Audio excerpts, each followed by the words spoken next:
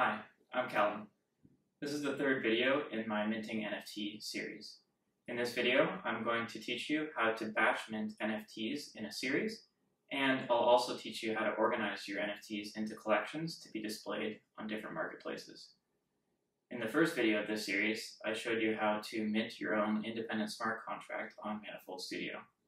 In the second video, I showed you how to mint a single NFT onto that smart contract. If you haven't watched those videos yet, I would recommend that you go back and watch them first, as it will be helpful here. If you've already watched them, I would really appreciate if you could like and subscribe. Thank you. Let's get started. So series minting is a way that you can actually batch mint NFTs. So instead of minting one at a time like we were doing before, you can batch mint an entire series of NFTs. I believe at this time it's only available for ERC 721 contracts and it's only available for images. You can also only mint up to 200 in a batch mint.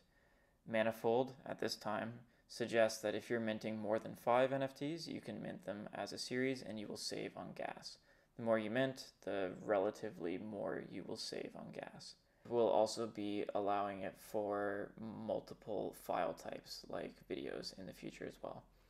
So I can create a new series here.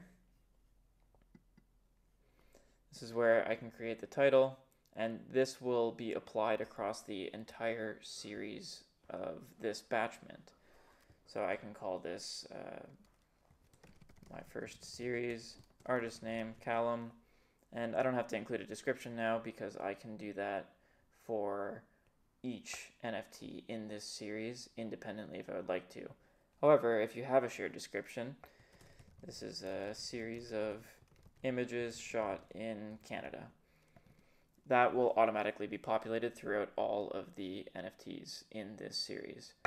If you have more questions about batch minting, you can go to the Manifold docs and they have some great information here that explains a bit more how this works and whether it is going to be more efficient for you based on gas to mint.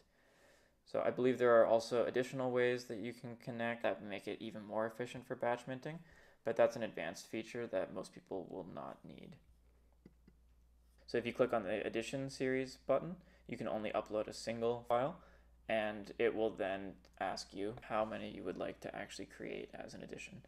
But I'm not going to do this one as uh, an edition, I'm going to use it as individuals to show you the difference. So now I can go and upload files.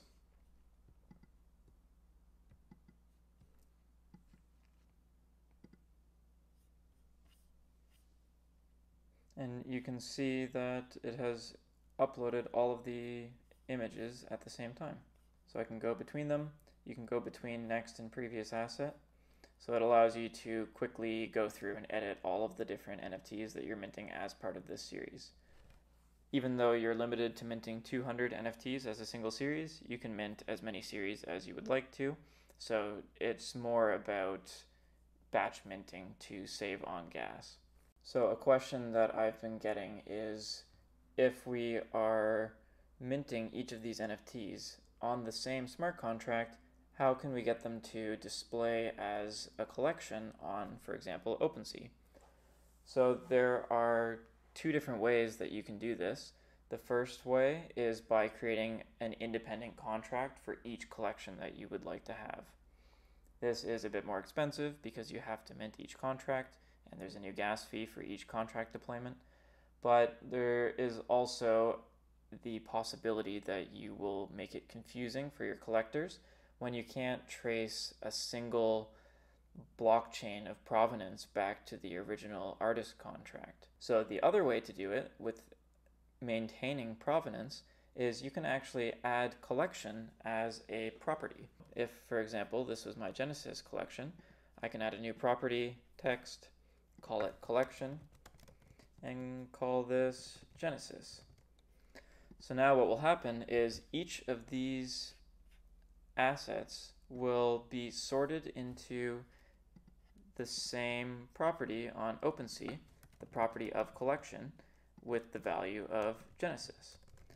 That means that you will be able to sort through your different NFTs under the same contract on OpenSea, so that way you only have to have a single contract but can still mint multiple collections from that contract. Once I've gone through and included all of the images that I would like to have in this series, I can mint them to Rinkeby. So this has an additional signature requirement where I first have to register the batch minting extension and that has its own gas fee. This only has to be done once. I then have to provide a signature to actually engage and interact with the contract itself. Uh, I believe there's one more signature after this.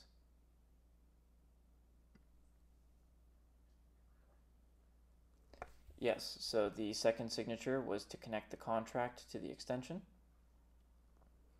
And then the third signature will be to actually mint the NFT.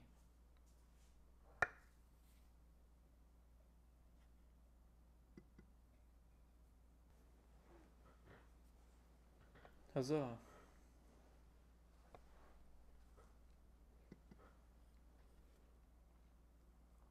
There, so now we can go and check it out on OpenSea.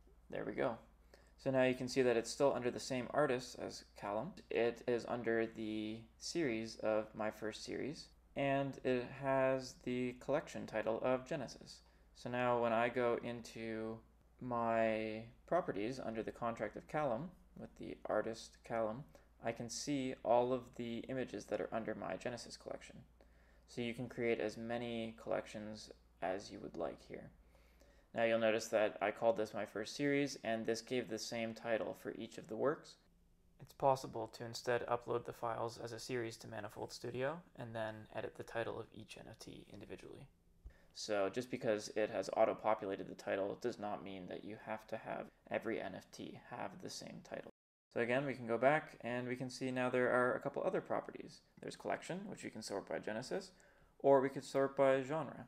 This provides a really cool opportunity for each artist to develop an organizational system for displaying their NFTs on different marketplaces in a way that appeals to their potential collectors.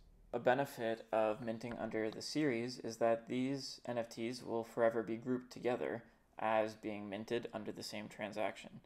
So what that means is if you wanted to go through and make independent changes to the NFTs, like add a new property, for example, when you go to update the NFTs onto blockchain, you only have to pay for a single gas fee to update all of the NFTs in that series. So that kind of takes a bit of the stress away from trying to figure out all of the properties that you may want to have now. You can update them easily in the future as a single transaction, only having to pay one gas fee. An advantage of using an independent smart contract like Manifold is that you can go and update the metadata at a later time because you have minted the NFT from the contract that you have ownership with. So that allows you to forever be able to go in and change it if you notice a mistake or if you would like to modify your marketing strategy to include a different property. So again, you can add as many tokens as you want under the same contract, which is just really handy for being able to provide a single source of provenance for any of your collectors. Manifold independent contract allows you to always indicate whether or not a piece of art is tied to a single contract. So that can be really handy when you then are trying to check the authenticity of a work in Web3. You can always trace it back to the person who originally minted the contract and minted the NFT to that contract. So let's say I wanted to add this photo of the Milky Way to my Genesis collection.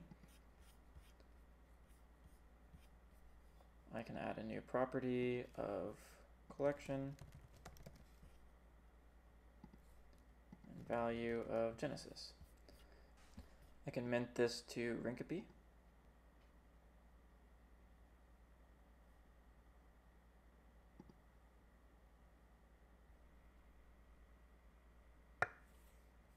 And when I go to look on OpenSea, I can see that it has auto-populated the properties for this photo.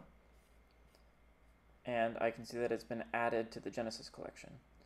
So now I can go click on that property and see all of the images that have been sorted into that collection based on the property. Now I'll show you how easy it is to mint an entire new collection of NFTs to your smart contract. So we can go back to the dashboard. Can go to series so that we could batch mint a new collection, add a new series, artwork title, I'll call this one Africa under Callum. Some of my favorite shots from a life-changing trip. So for this one, I can upload some more photos. Let's see. So it has detected some metadata for the different photos. I might as well include them all because I can go through and delete each one individually afterwards. Okay, so like we were talking about before, you can now scroll through all of the different photos. You can modify each photo as needed. So for example, perhaps I don't want to call this artwork title Africa, but I want to call it Africa Mountain Gorilla.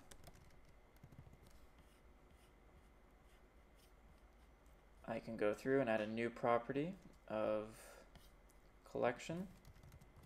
And I can call this one Africa. Go to the next asset.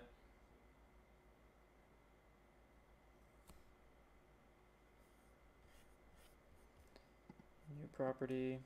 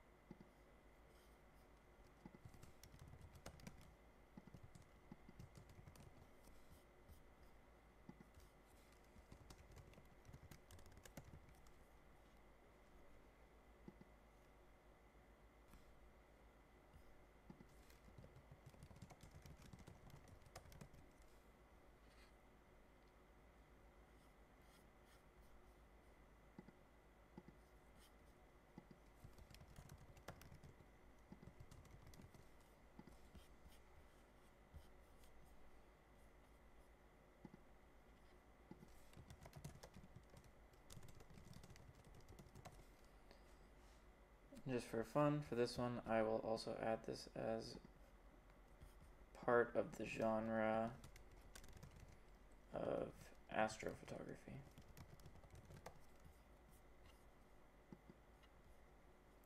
So now, because we're dealing with batch minting, we can mint all of these to Rinkeby at the same time.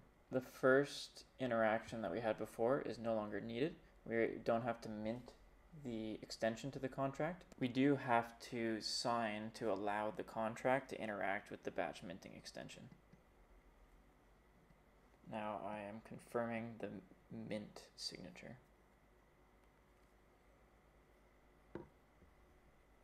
Now we can go check out the series on OpenSea. And now you can start to see how the properties are changing to update with the new NFTs that are minted. So you can see that it has the collection trait of Africa. It has the camera. All of them are under the same artist, the same contract. And I can go click on the collection to see what other photos or NFTs I have included under this collection.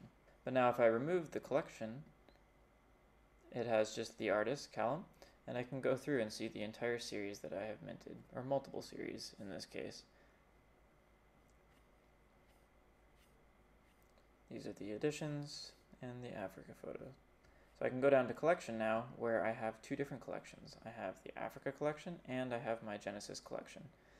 This provides a very simple way to mint multiple collections without having to mint multiple contracts.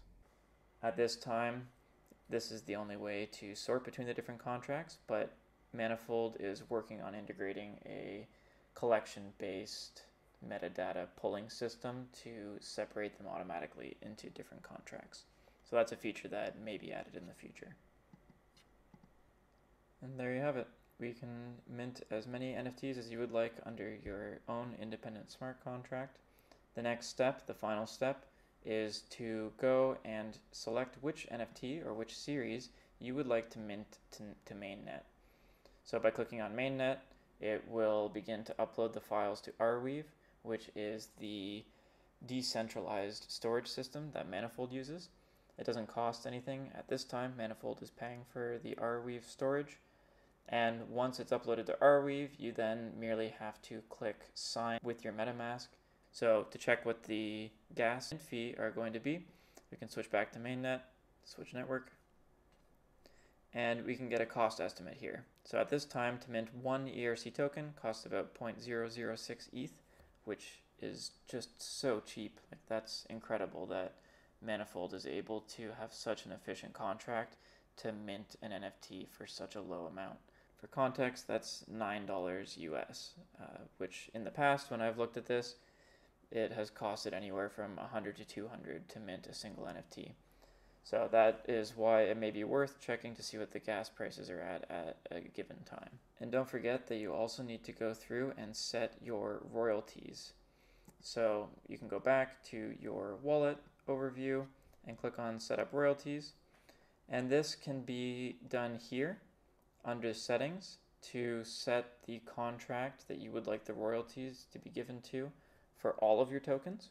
And then if you want to go through and change individual tokens, perhaps because you've collaborated with someone on a token, you can modify the token settings for the royalties of each independent token. So there you have it. I hope that this was a helpful tutorial. Please feel free to let me know if you have any questions and please, if you don't mind, I would really appreciate if you could subscribe. I'm just starting my channel out and I am looking to grow to help as many people learn about NFTs as I can. So I appreciate any support that you can provide. Thank you very much.